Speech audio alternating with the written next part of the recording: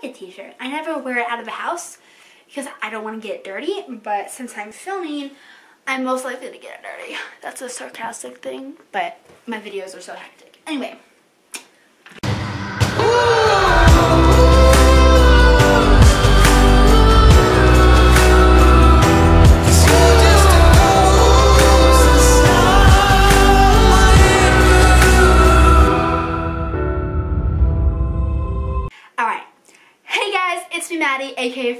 And welcome back to another video on my YouTube channel.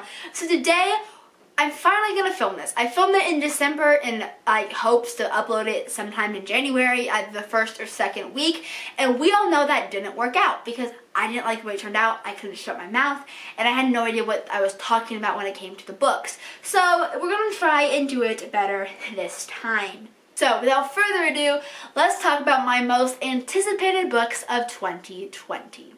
Okay, so uh, Goodreads has Earth of House and Blood um, coming out the 3rd of April, but I still think it's coming out the 3rd of March, so we're going to talk about that one first. So my absolutely most highly anticipated book for this year is Sarah J Maas's new book, House of Earth and Blood, also known as Crescent City.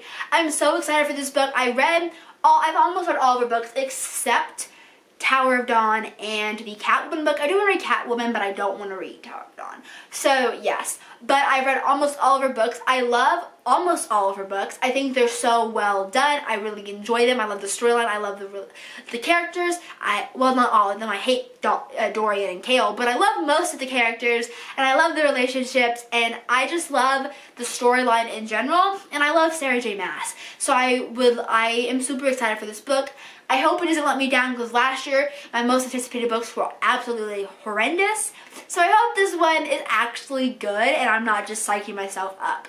But I have high hopes that it'll be good because all of her other books I really enjoyed. I've only given one of them, given one of them under four stars. So I'm really excited for this. The next book is The Shadow Between Us by Tricia Levenseller, which comes out the 25th of March. This book, I don't remember, I never remember what these are about until I start reading the descriptions. So, so this one is about a Shadow King. It's about I don't know how to explain it. This is the description of it. This is the title. This is like the cover for it. It sounds really, really good. I just don't know how to explain it. I'm not good with descriptions. Um, and I don't know. I'm just really excited for it. I don't know why, but I am. So that comes out the, the 25th of March too. The next book I have is Maya and the Rising Dark by Rena Barron, which comes out the 5th of June 2020.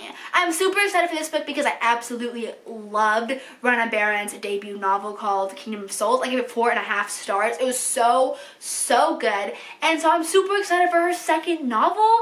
I did not pre-order it. I don't know if I'll be reading it as soon as it comes out. I do want to get it eventually because I just loved her first book but I don't think I'll be getting it um, by release date. Maybe by release date, it just depends. Um, it's like $18. Like, oh my goodness, calm yourself because I'm not paying 18 bucks for a book. I'm sorry. Because if I am, why don't I just go get it in person at Barnes & Noble? Because some books are $18, so if I'm going to buy an $18 book off Amazon, I'm going to buy it in Barnes & Noble then. Hmm. Okay, so the next book is The Ballad of Songbirds and Snakes by Suzanne Collins. Comes out the 19th of June. Same thing with this one. I will not be getting it. I definitely won't be getting it this year. I can tell you that right now. I won't be getting it this year. Maybe like late in the year, but I doubt it. I will be definitely, I will try and get it next year, but I don't imagine myself getting it this year. I'm super excited for it because last year I read the first, um, I read the original, uh, Hunger Games books that I have a video on, so I will link down below in the description box if you're interested in that. So I read those three, and I enjoyed the first two. The third one, um, so I really enjoyed them. I'm excited for this one. Um, it's also, like, it's already, like, planned to become a movie, too. So, yeah, I'm just, like, super excited for this in general. Um, I have no reason why. I just am because I read the first three and I kind of enjoyed all of them. Like, you put them all together, they're okay. So yeah, the next one is one I, I really do want to get this year, and that is my calamity, calamity.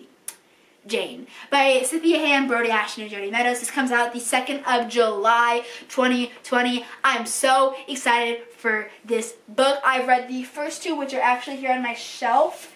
This they have My Lady Jane, which is the first one, and My Plain Jane, which is the second one. This these books are um These books are like retellings of the his, the historic Janes.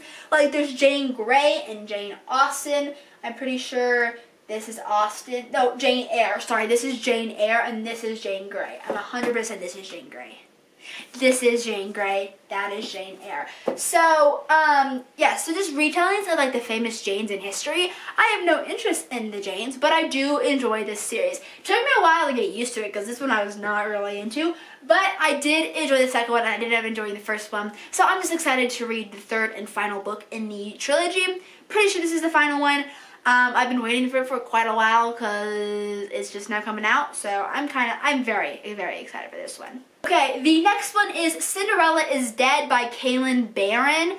Um, this comes out the 7th of August, and it's like a Cinderella, it's like a, okay, so here's the description. It's 200 years after Cinderella found her prince, but the fairy tale is over. Teen girls are now required to appear at an annual ball where the men of the kingdom select wives based on girls' display of finery.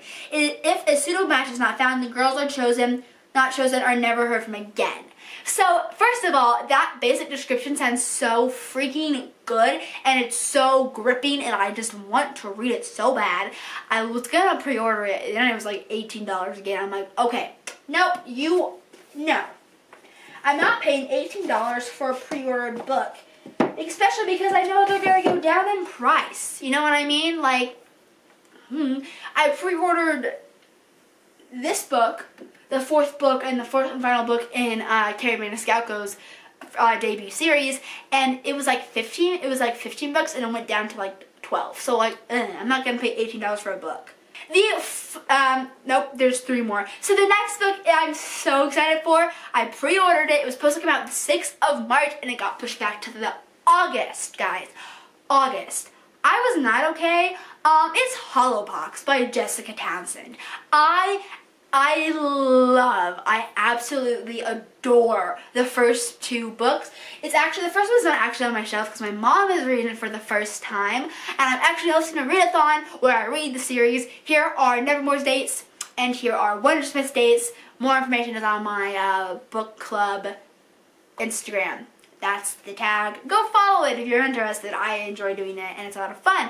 Anyway, so I'm super excited for this one. It's the third book in this book of nine series. Like, or an article where Jessica Townsend announced there would be nine books in the series, and I was like, oh my goodness, um, yes. So I'm super excited for this one. I think this might be like the last one in Morrigan's point of view. I'm not really sure. I'm not 100% sure. Um, but I heard that there's going to be like three in Morrigan's and then the rest were going to be in different people's point of views. I don't know, but I'm excited for this book nonetheless. So I'm super excited for it. It's got pushed back to the 18th of September. It was August, my god. I'm okay. Next up, we have the sequel to Kingdom of Souls. This has no cover and no title, so I don't know if it's coming out in 2020, but it is the sequel to Rena Barron's Kingdom of Souls. And I loved the first one so much. I did predict the ending. I did predict the whole thing, but I do want to read the sequel. Um, so yeah, I'm excited for that one.